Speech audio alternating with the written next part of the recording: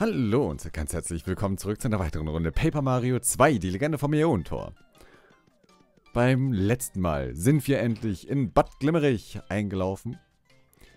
Und dieses Mal werden wir uns hier auch ein wenig umsehen.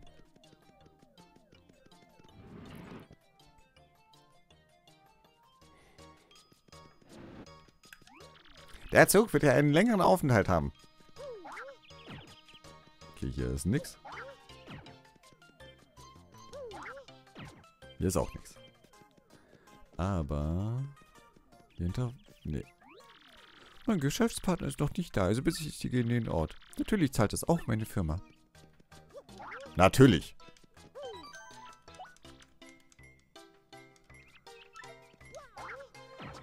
Ha! Ich wusste, hier ist irgendwo was. Wo gibt es denn hier Modelleisenbahnen? Wir werden uns sofort um Bronxmoods Geburtstagsgeschenk kümmern. Du, Autogramme Onkel, meine Eltern kaufen mir eine Modelleisenbahn. Aber eigentlich könnten sie mir auch eine richtige Eisenbahn kaufen. Undankbares Gör. Oh, ups. Hoppla.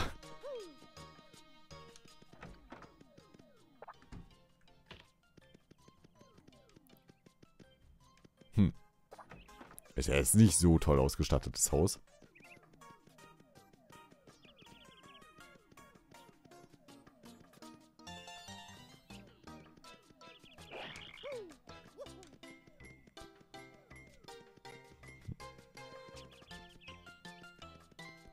So, warum kann ich hinten nochmal raus? Hm.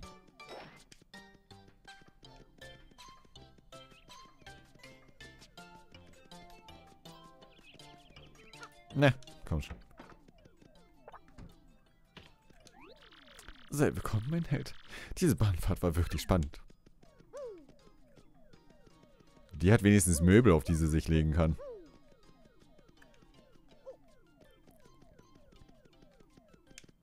Kann ich dir... Nein. Ich kann dir leider nicht deine Kommode ausräumen.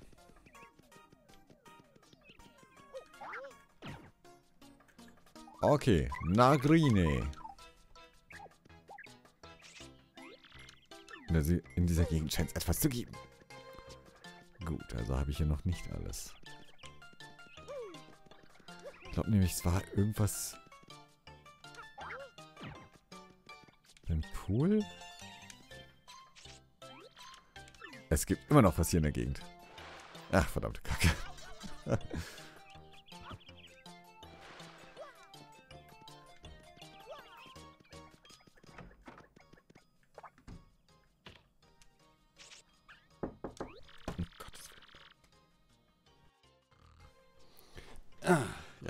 schon wieder eingeschlafen. Ganz in der Nähe scheint sich was zu befinden.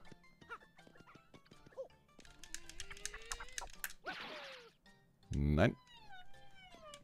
Uh, warte mal. Ah. Oh. Okay, ich dachte, ich muss hier mit Aerona pusten. In dieser Gegend scheint es nichts mehr zu geben.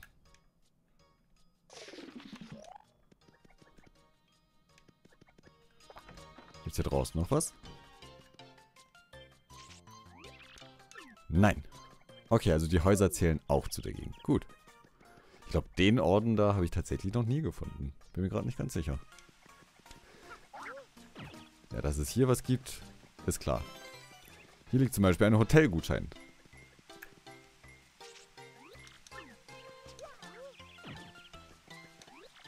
Es hatte gehört, es sei ruhig im Bad Glimmerich. Aber diese Touristen. Vielleicht sollte ich einen Laden mit Spezialitäten aus Biber City eröffnen. Na, Biber City, wer erinnert sich noch?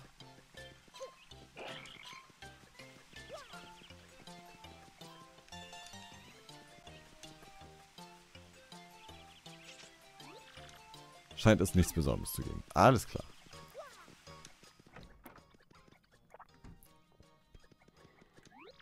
Es mag ja ganz schön sein, hier zu leben. Aber Punsch trinken, einen Schneemann bauen, Schlittschuh fahren. Das kann man hier alles nicht machen. Fern von der Heimat lernt man ihre Vorzüge erst richtig zu schätzen. Ja, ja, trink du nur weiter deine Bohle. Was bist du eigentlich? Herzlich willkommen. Möchtest du nicht unsere Powerpasta als Andenken kaufen? 50 Münzen? Nee, du, lass mal gut sein. Wir drei Mädels bereisen die ganze Welt. Wir übernachten in dem vornehmen Hotel gleich da drüben. Dieses Bad Glimmerich hat wirklich Stil. Heute werden wir den Glimmertempel besichtigen. Ja, viel Spaß. Ah, hier ein Hotel.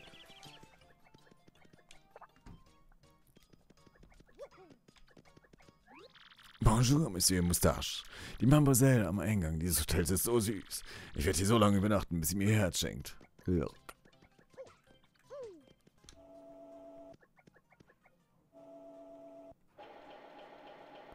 Na, gucken wir mal. So hoch ging es doch gar nicht da draußen.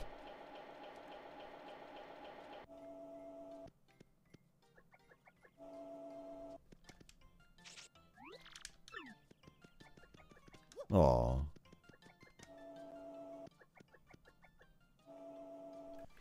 Ich dachte, ich kann mich da jetzt einfach reinlegen.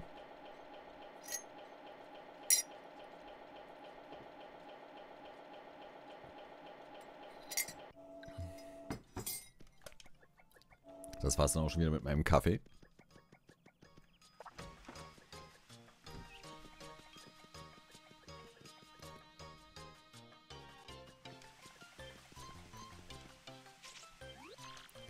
In dieser Gegend scheint es etwas zu geben. Ich bin jemand, der stresst und schwer abbauen kann. Aber wenn es mir zu viel wird, laufe ich einfach barfuß über die Wiese. Du solltest das auch mal probieren. Ich stampf dir die Wiese. Ich werde oft gefragt, ob es nicht langweilig ist, jeden Tag am gleichen Ort zu sein. Wie kann man nur so denken? Jeder Tag ist doch ein wenig anders. Ich bin da... ich habe mich voll verschluckt. Ich bin anders als gestern. Du bist anders als gestern. Die Stadt ist anders. Jeder Tag ist einmalig. Also möchte ich auch jeden Tag bewusst erleben.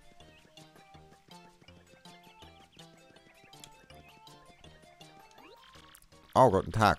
Also es ist angenehm warm hier im Bad Glimmerich, nicht wahr? Ich mag das wirklich. Wenn es kalt ist, holt man sich gleich einen Schnupfen. Ja, so schnell geht es nicht.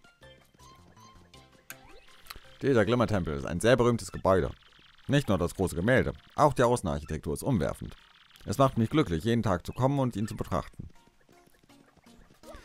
Ja, mich macht besonders die Insignie hier oben glücklich. Acht haben wir jetzt, oder? Ja.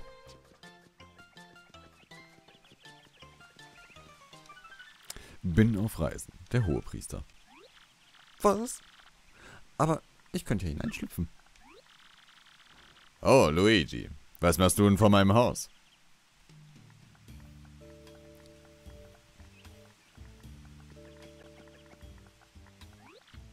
Was? Das hier ist dein Haus? Dann bist du also der Hohepriester und kein Detektiv? Du sagst es. Detektiv bin ich nur in meiner Freizeit. Aber wir müssen uns ja nicht im Stehen unterhalten. Komm doch rein.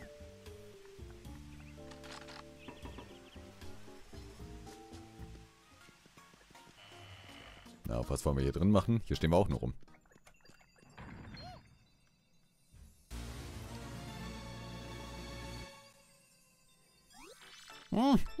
Der kommt zu spät. Wir haben das Sternjuwel.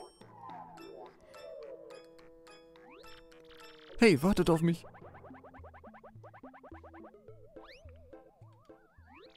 Oh nein, sie sind uns vorgekommen. Wir müssen sie verfolgen. Warte, Luigi. Könntet ihr mir sagen, worum es hier eigentlich geht? So, so. Ihr sucht hier also das Sternjuwel. Hm. Ich bin im Bilde. Aber macht euch keine Sorgen um das Sternjuwel. Es ist in Sicherheit. Das Sternjuwel auf dem Podest war ein billiges Imitat. Das Original habe ich anderswo versteckt, damit es nicht gestohlen wird. Aber wo das Original versteckt ist, das darf ich in meiner Funktion als Hohepriester leider nicht verraten. Natürlich weiß ich, wo das Sternjuwel sich befindet. Aber ich bin überzeugt, dass ihr es aus eigener Kraft finden werdet. Also, Luigi, frisch ans Werk. Zeig, was du von mir gelernt hast und finde das Juwel.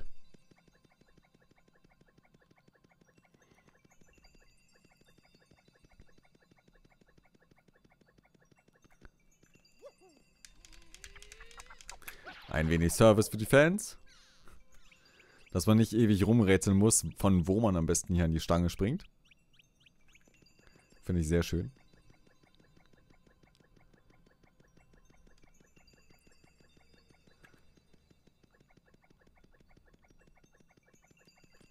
Und was vermutet ihr, wo das Sternjuwel ist? Ihr werdet es ja gleich sehen, aber Vermutungen kann man ja mal abgeben.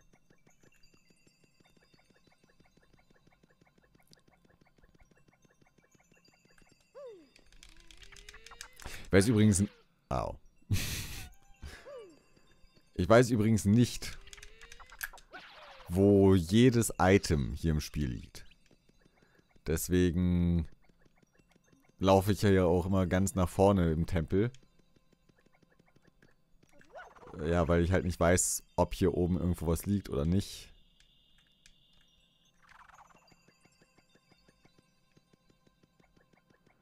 Aber hier liegt wohl nichts vorne im Tempel. Na gut.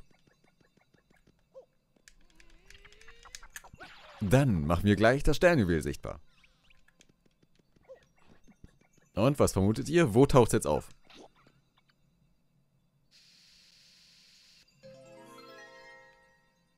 Na? Hattet ihr im Verdacht, dass das Sternjuwel sich hier im Bild versteckt?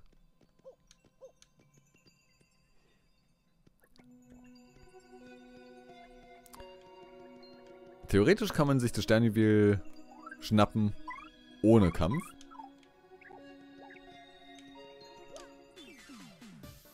Ich mache aber die Kämpfe durch. Gibt Erfahrung.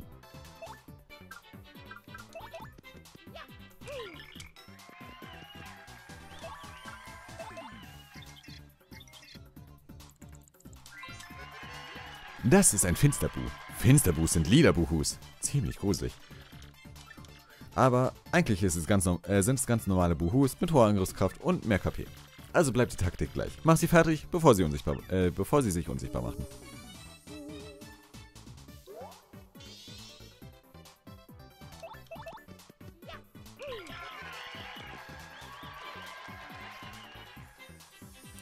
Ja, ne?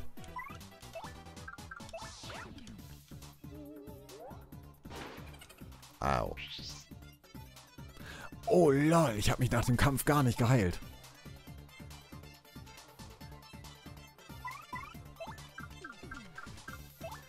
Gut. Schön, dass ich jetzt dran denke.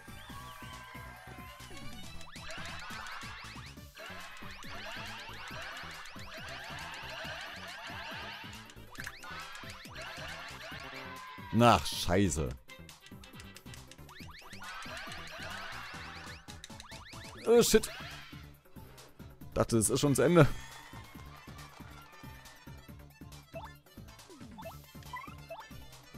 Warte mal. Austauschen.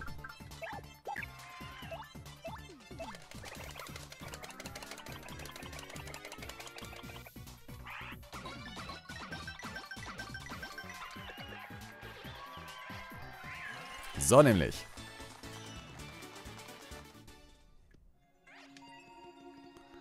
Aber, ach komm, ich nehme Irona. Weil ich sie sonst so selten nehme.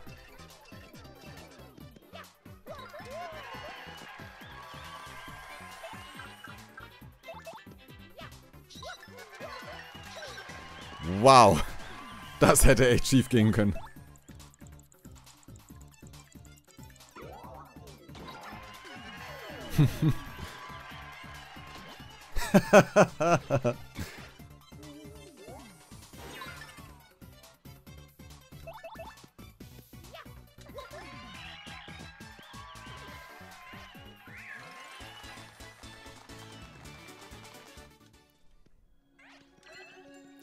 Es gibt doch gut Sternpunkte. Schade.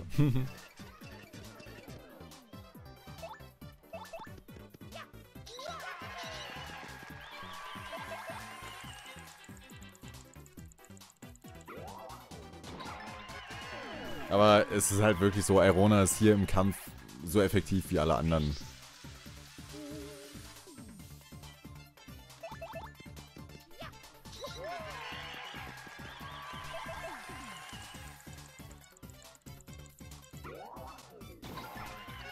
Warum nicht sie nehmen?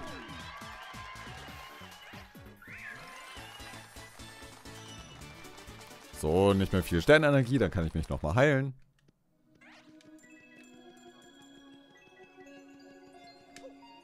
Shit, voll daneben gesprungen.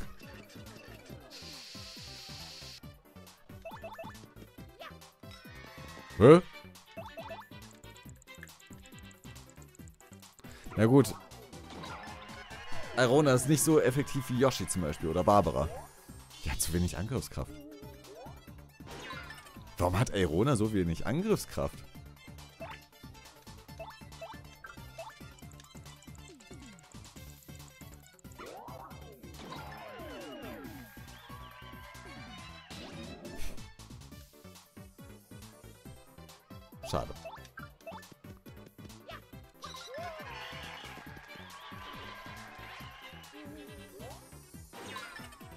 Mir hier gerade jedes Spiel rum, das ich äh, benutze? Vorhin auch schon Final Fantasy.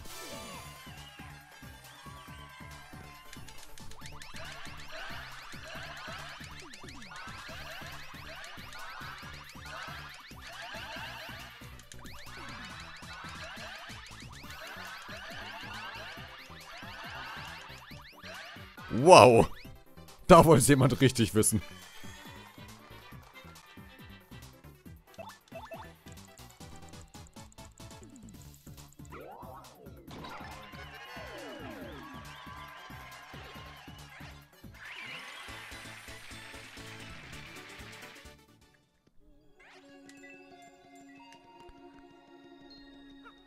Wir killen sie alle.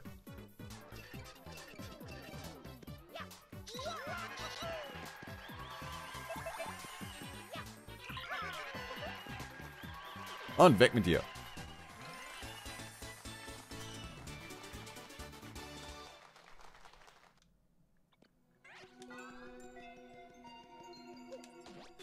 Boink.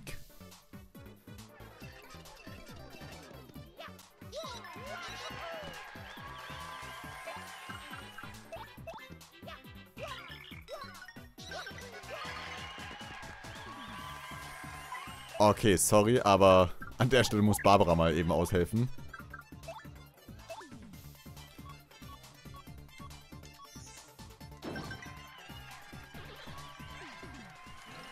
Weil das dann doch ein wenig effektiver ist, als mit Airona jeden einzeln umzuklatschen.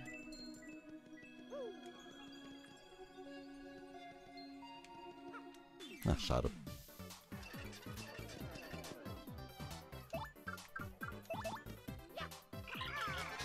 Ach, schade. Da wollte ich zu viel. Ach, Kacke.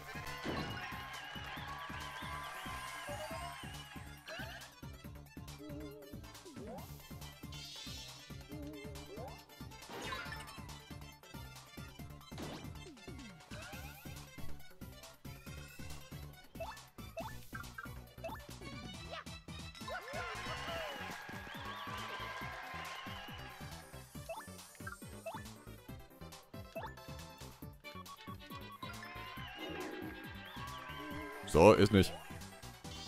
Ihr brennt mir weg. No.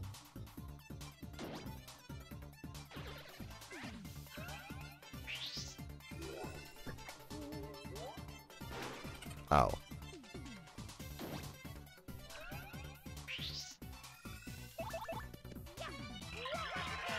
Und tschüss.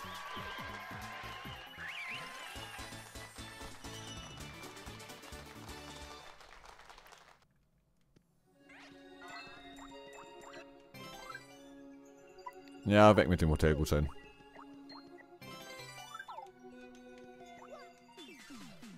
Okay, der letzte Kampf für heute. Einen heben wir uns dann fürs nächste Mal auf.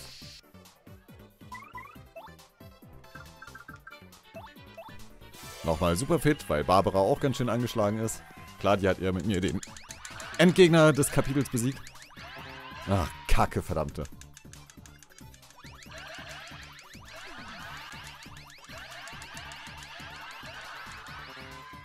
Leck mich doch am Arsch. Ah, die Großen geben drei. Ich dachte, die Großen geben zwei. Hm, gut zu wissen.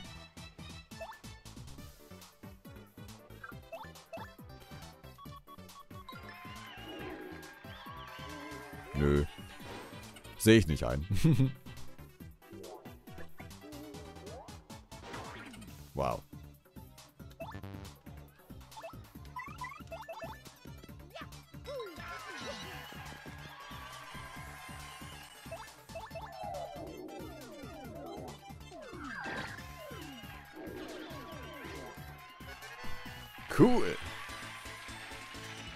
Ich finde, wenn man das Action-Kommando auch so gut beherrscht, sollte es auch Sternenergie zusätzlich geben.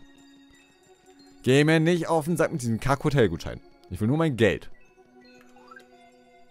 Und damit bedanke ich mich bei euch ganz herzlich für eure Aufmerksamkeit. Ich hoffe, ihr hattet Spaß und ich wünsche euch einen wunderschönen Tag.